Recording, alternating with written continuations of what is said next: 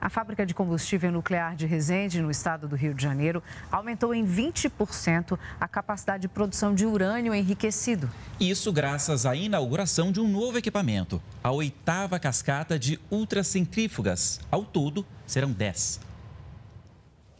A inauguração aconteceu na fábrica de combustível nuclear que fica em Resende, no sul do estado do Rio, a única de enriquecimento de urânio do país, e marca mais um passo do Brasil rumo à autossuficiência na produção de combustível nuclear.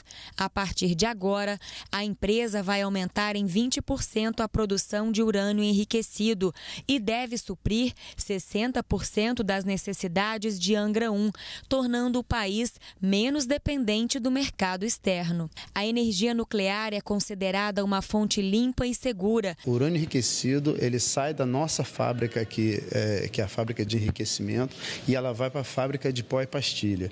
Lá ele é transformado em pastilhas de urânio e que são montados na outra unidade, na unidade 1, e, e viram elementos combustíveis. Esses elementos combustíveis é que alimentam as usinas de Angra 1 e 2. Por se tratar de um assunto de segurança nacional, as imagens não são permitidas no interior das instalações onde ficam as cascatas. Apenas 12 países desenvolvem essa tecnologia e o Brasil é um deles. Para se ter uma ideia da eficiência energética do urânio, quatro pastilhas de apenas um centímetro cada podem gerar energia para uma residência com quatro moradores durante um mês. Além do simbolismo e da celebração de mais um feito nacional, torna a data oportuna para anunciarmos que o Ministério de Minas e Energia destinará, nas próximas semanas, 20 milhões de reais para que possamos caminhar a passos largos